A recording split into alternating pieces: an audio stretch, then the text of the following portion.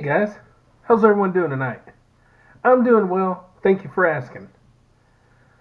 Well, tonight I have a little bit of a different uh, video coming to you. It's video game based. There's not going to be any video game playing or footage that I'm aware of. That could change though in editing. We'll see.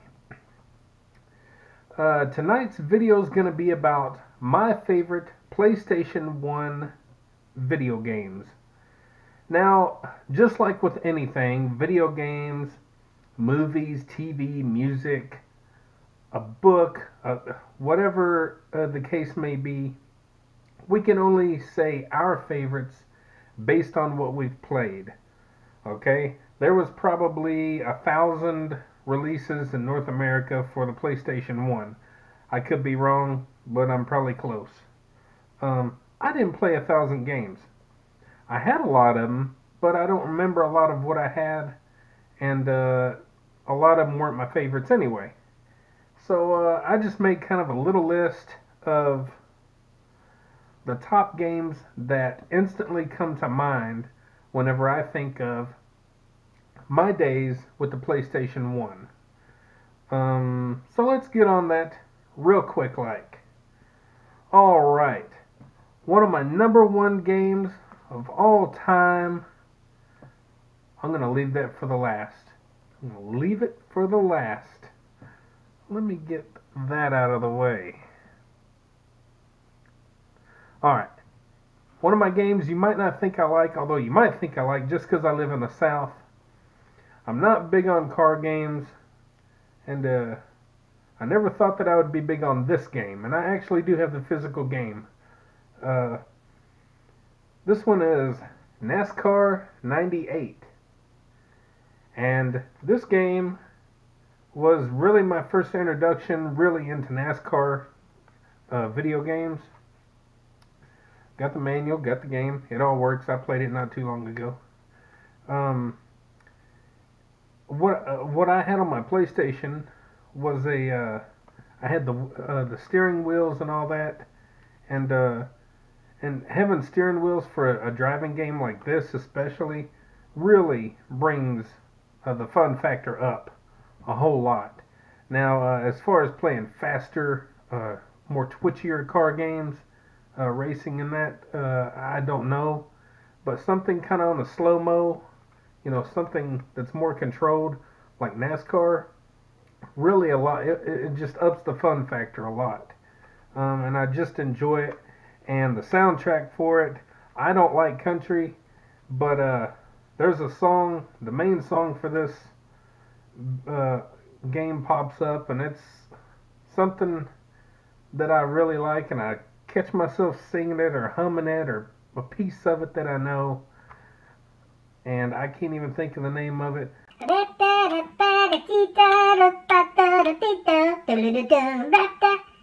Eh, anyway, I might put that song title somewhere in here.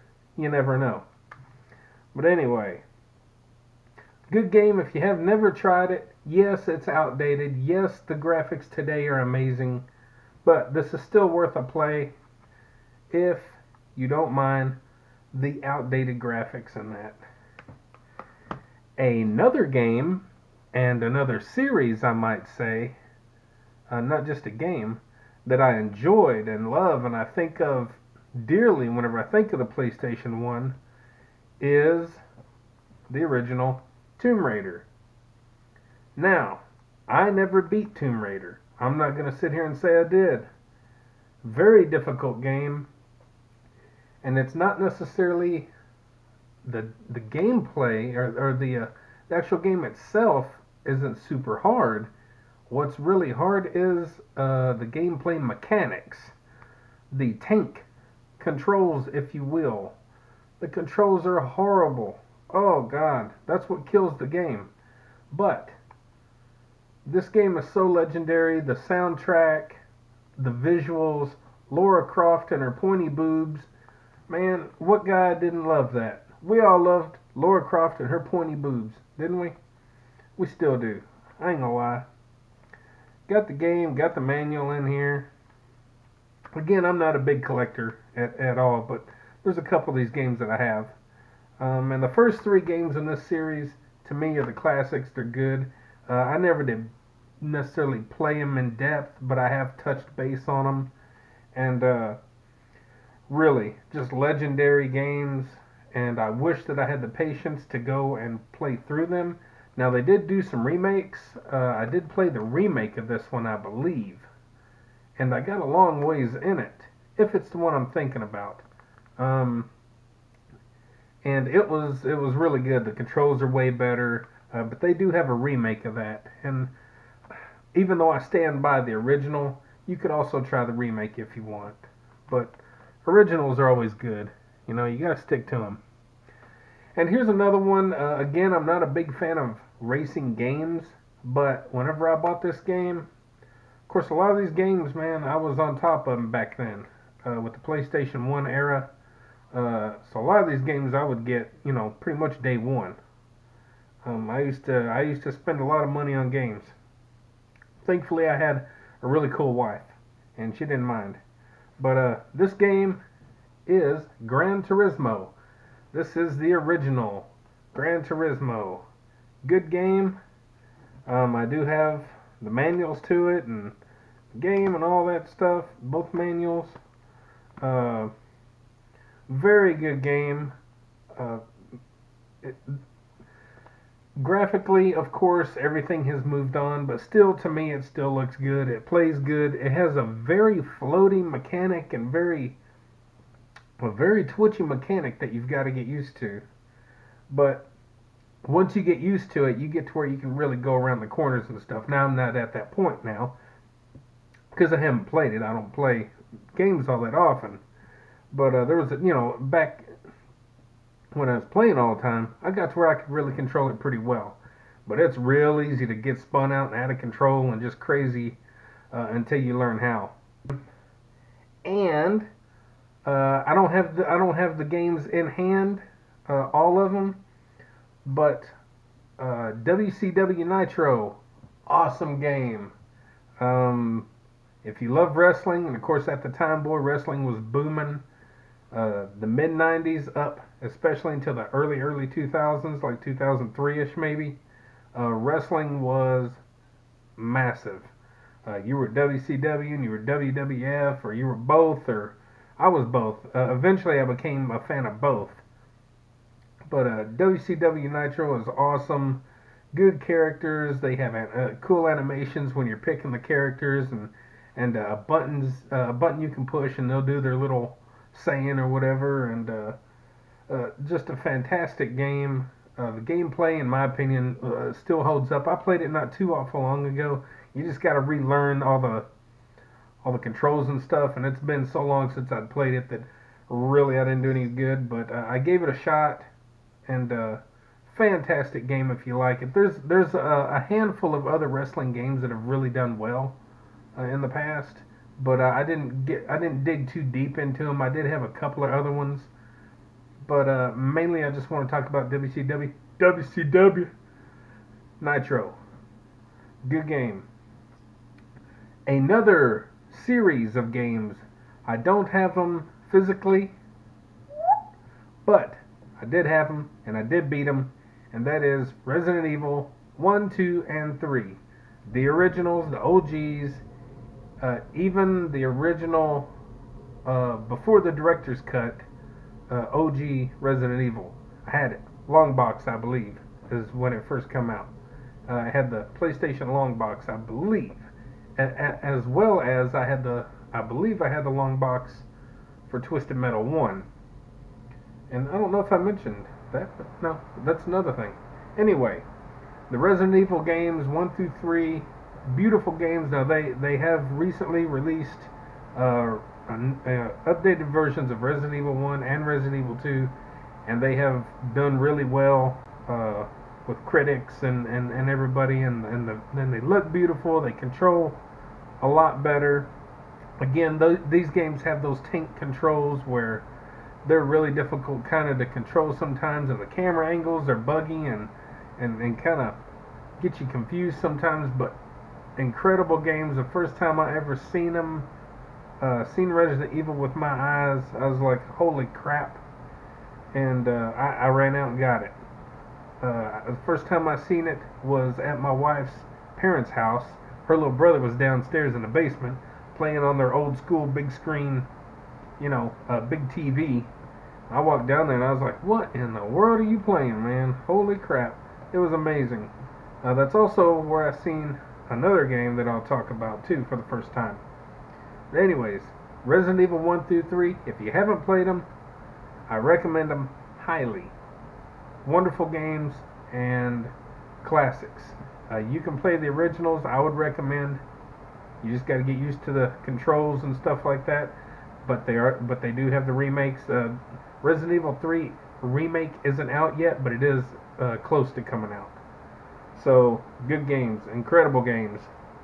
Uh, another game that I did play and I beat, loved it. It was a really easy game, as a matter of fact. Oddly enough, I remember beating it like had no problem at all beating it. It was uh, it was just a, an easy game, but it was creepy and eerie and the, atmosphere and everything. And that is Silent Hill One. Now there's a whole slew of Silent Hill games out there, but to be honest, I've only really played the first one. Uh, I know I'm missing out. There's a couple other good ones off in there that I've seen reviews on in the past, but uh, Silent Hill 1 started it all. Good, good game. Uh, the controls on it to me are a little bit better than on the Resident Evil games, and the cameras and stuff aren't quite as bad. Uh, but it's super creepy, man. It's the atmosphere, just like with the Resident Evil games. Uh, they just had the atmosphere and everything perfect, and uh, it, it was way before all this new stuff come out where everything's just really just in your face and, and kind of a little much. This was, you know, in the beginnings of, of, of this whole really new era of video games. And uh, Silent Hill uh, did a really good job at uh, bringing the creep factor. So if you haven't played Silent Hill, the original, I recommend playing that. Very good game if you like those type of uh, survival horror games. And on a side note, yes, I do like the Silent Hill movies. I think they're great. I've watched the first one like probably a dozen times. Uh, seen it at the theater. I couldn't wait for it to come out on uh, DVD at the time. I, I loved it. I thought it was good. A lot of people don't, but I liked it. Thought it was pretty creepy. Um, and now we're gonna get to the top dog of them all for me on the PlayStation 1. There's not a game series that I played more on the PlayStation 1. It started with the first of the series, but it ended and that's all I needed when the second game came out. And that is my beloved, wonderful, amazing Twisted Metal 2. Wow, what can I say? Hours upon hours upon hours and hours and hours and hours, years of fun with this game. Now, the first one uh, was introduced and I loved it. I got it day one, fell in love with it. Uh, it, it has its goods and its bads, and I recommend trying it just uh, for nostalgic sake. But when Twisted Metal 2 hit, it just upped the game uh, a hundred times. It's just uh, amazing. The controls, uh, kind of like Gran Turismo, they're all over the place. But once you learn how to control your car, man, you can go full blast with turbo and slide around corners and whip around and shoot uh, shoot rockets and stuff while you're turning. Uh, you learn how to do all that fancy stuff, and uh, there's several several good sized maps, and there's other maps that you can get in here by putting in codes. Uh, and there's there's weapons you can use that are that are uh, on the screen, and then there's some that you can use by using codes as well. So, uh, man, uh, the countless hours and days that I played this game with my my boys and my nephew uh, Brandon and my my best friend John Colius, and uh, even my buddy uh, Steve Arnold, who didn't who didn't play a ton of games, but whenever I got Twisted Metal One, uh, he played all the time with me. Uh, he fell in love with that too, but uh, I was better than all of them. uh, no, really. You didn't want to challenge me. I would kill you. Beautiful, wonderful, fun game, and uh, just to let you know that I don't have any tattoos. But over the years, I've wanted to get a Twisted Metal tattoo of some kind, and I've looked at all kinds of different ones and everything. Uh, there's not a whole lot that I'd want to get tattooed on my body, but I do believe if you're going to get a tattoo, it needs to have real significance, real meaning. It needs to be something you're passionate about and love. And there are video games that I'm that way about that I just absolutely love. And I mean, I just get very uh, almost you know emotional, not crying necessarily emotional, but just just so excited and and so happy and joyful to even talk about them. And Twisted Metal 2 is one of them. Uh, there are other games in the Twisted Metal franchise that uh, did well or did okay, and uh, one of those is on the PlayStation 2. It's Twisted Metal Black, and the other one's on the PlayStation 3. Uh, Twisted Metal. I think that's all it was called. I got it too. Um, but we're not talking about those systems. This is all PS1. But yeah, this game, awesome. I, I recommend it. If if you got friends that'll play with you, Giggity. if you got friends that like to hang out and they'll play games, that's amazing. You'll have all kinds of fun with it, man. It's crazy. Good stuff. And I do have some honorable mentions. And these games I probably never beat. I probably never will. But they're honorable mentions because I liked them. Uh, and a couple of them are classics and legendary anyway. Uh, one of them is Spyro. Uh, I only really, I don't know if there's more Spyro games. I've only played the first one, as far as I know. And uh, it's a good game. Uh, nice little platformer, 3D kind of world platformer. Good game. I'm not going to go into detail about these, but uh, it is a good game. I recommend them. Good stuff. Crash Bandicoot. Now, there's like a handful of games for that on the PlayStation 1. Really, I only played, I only bought and played the, the first one. I got a good little ways in it. I don't believe I ever beat it. Probably never will. But it's a good game. It, it's it's again kind of a uh, a platformer, and it's in different views. It's you know you're running out past you know like going that way, and the camera's kind of over you like this, and it's showing everything go that way. Sometimes you're running towards the camera when you're running away from maybe uh, uh, an animal or a boulder or something. Uh, so the camera views on that are kind of interesting. It's a very fun game. It's tough, but it's interesting and it's legendary as well.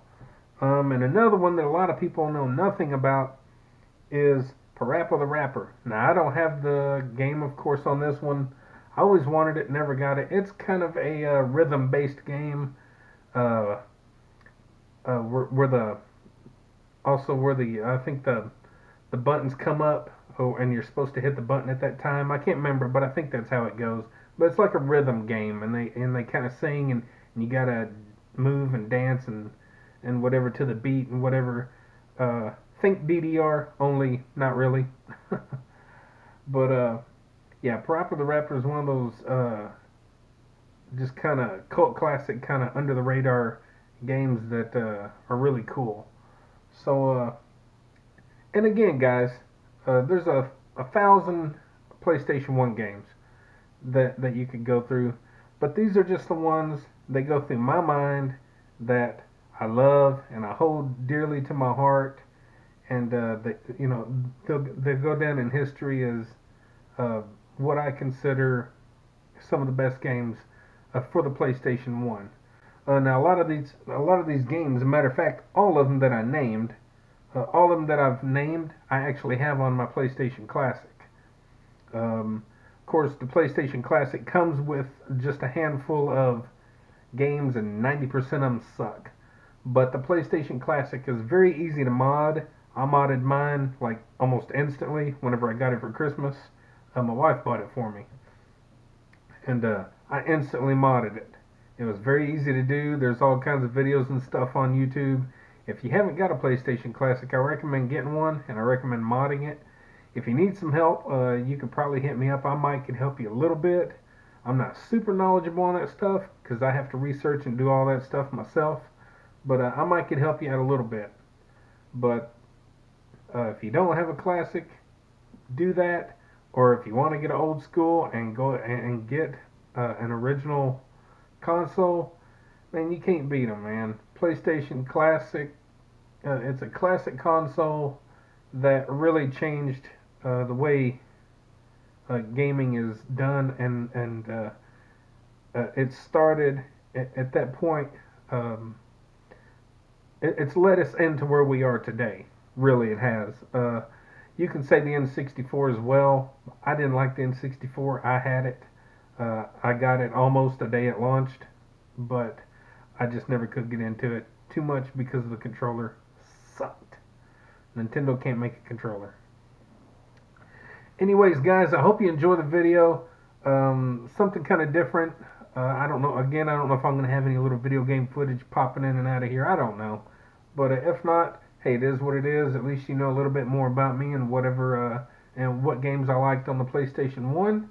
Uh, hey, in the comments, tell me what you liked. Tell me what games you liked on the PlayStation 1 only. Only the PlayStation 1. Let me know if you got a classic. Let me know if you've got it modded. Let me know if you want help getting it modded. Hit me up in the comments. Like, share, subscribe, comment, all that good stuff. I do all this for free. Why? Why you ask? Because I enjoy it. Gives me something to do. I hope to inspire you guys to do things such as get up, get out, get ready, and do it to it by doing video games, tennis, hiking, walking, jogging, riding a bike, working out, putting a puzzle together, coloring, taking, uh, doing photography. I don't know. Anything you want to do to get your mind moving, to get your uh, may get your body moving, your mind moving, your heart pumping, your lungs going. Anything that you truly enjoy and you have a passion for, do it. And do it to it. Also, check out my shirts. I'm going to put a picture up right here.